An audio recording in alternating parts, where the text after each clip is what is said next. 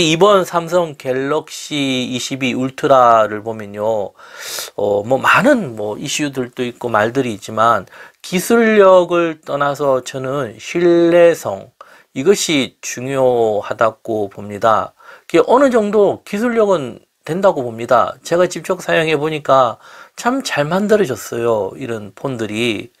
지금은 필요한 것이 무엇인가 하면은 신뢰성과 정직이라고 봅니다. 이유가 왜 그런가 하면은 어, 기술력이 오픈된 시대이기 때문에 그리고 사람들이 어떻게 해요?